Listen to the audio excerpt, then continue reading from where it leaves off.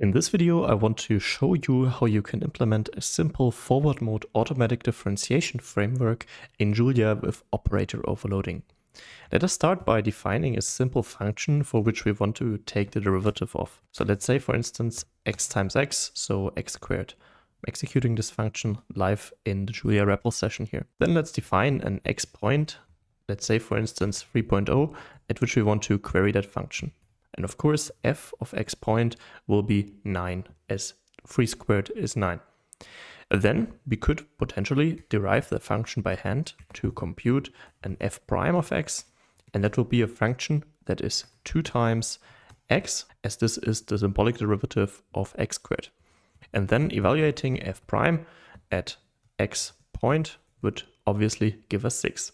But how can we become a little bit lazy and apply automatic differentiation to this.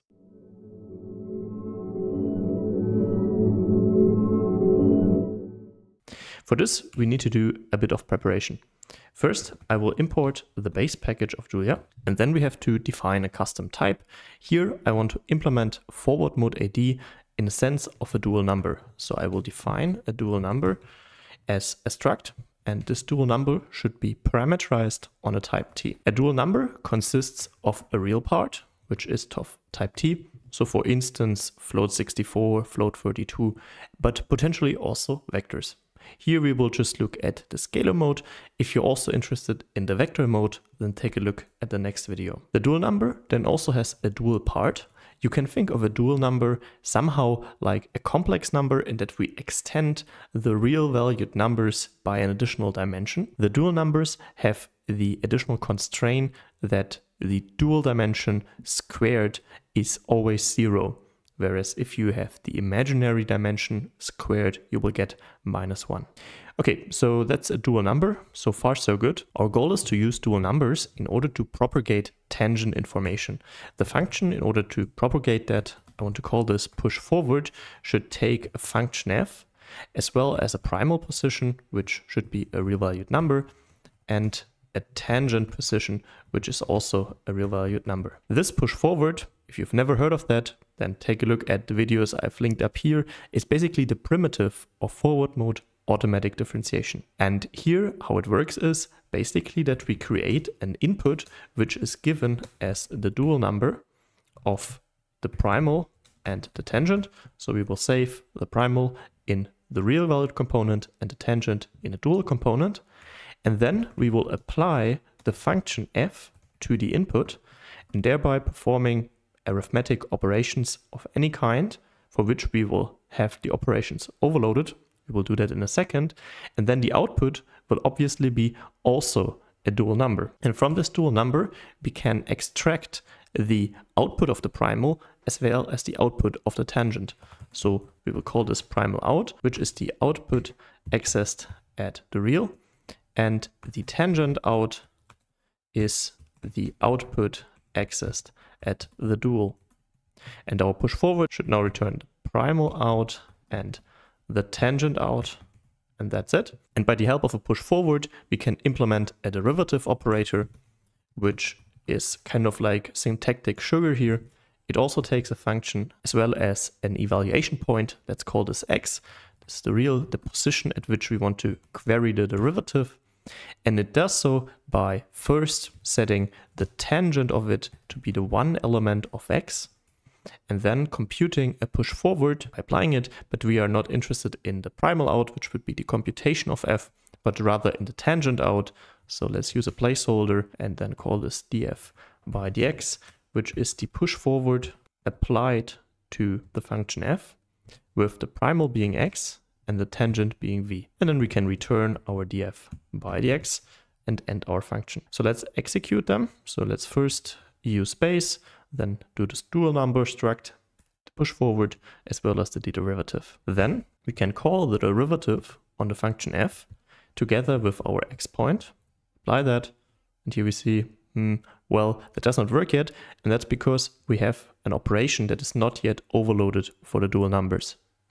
So what we will be doing is define this operation, and for this we will access the base package and say base dot and then colon star in order to overload the multiplication operator.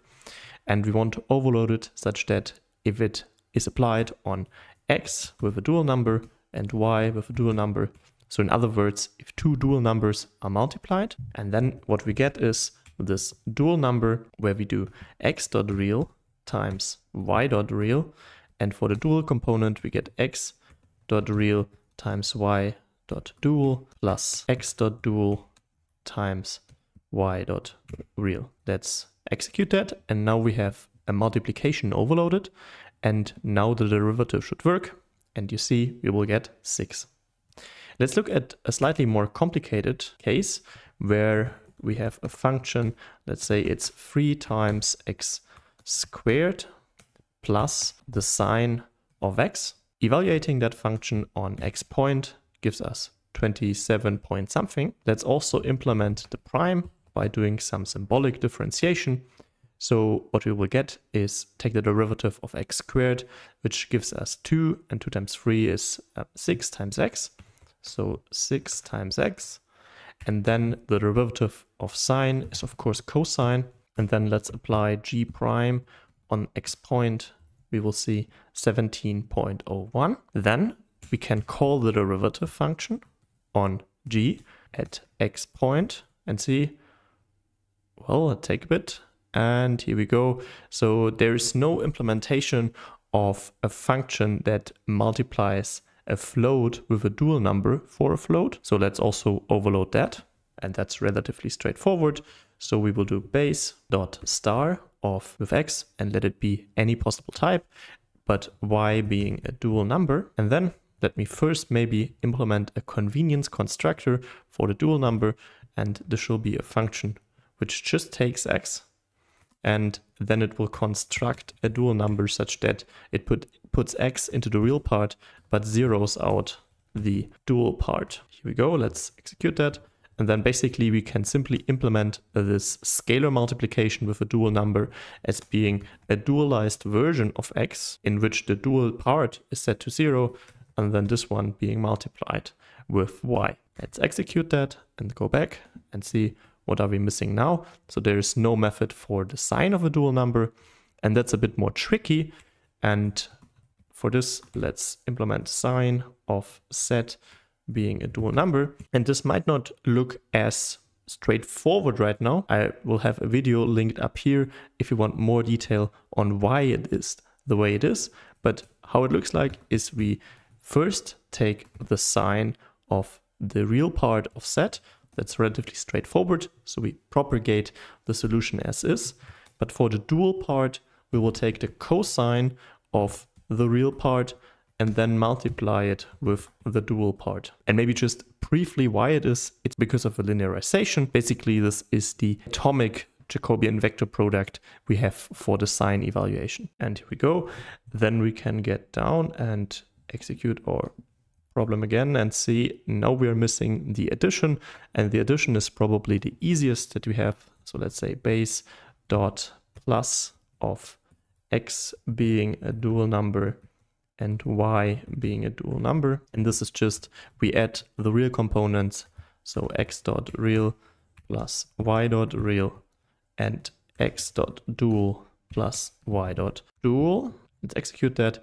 And now we should have all the primary components down and execute it. And then we get the derivative value, which is exactly the same as our symbolic derivative that we have here. And bottom line is that you could now define any scalar valued computation from a scalar to a scalar as long as you have all the basic operations that are called implemented or overloaded for your dual number. Feel free to also take a look at the next video where we will extend that to vector mode forward AD, which is rather straightforward and employs a simple trick in order to cleverly use the scalar AD here. A big thanks to all the patrons of the channel. If you also want to support my vision of free education on these advanced mathematical topics, you will find the link to the Patreon page down in the video description. I hope that you enjoyed this video. If you did, then please leave a like and consider subscribing to the channel. There's more awesome content on automatic differentiation